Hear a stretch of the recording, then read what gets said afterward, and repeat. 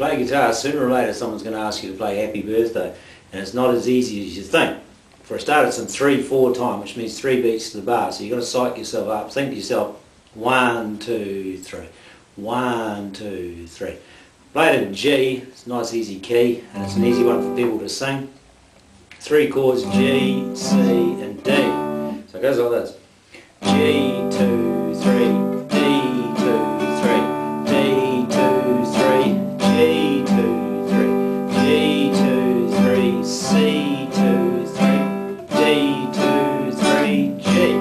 Second problem is, the singing starts it off. So it goes, Happy birthday to you. Happy birthday to you. Happy birthday, happy birthday, happy birthday to you. This is the one song that heaps of people, the only song that heaps of people sing. So the difficulty is getting them all to sing in tune. Start them on this note here.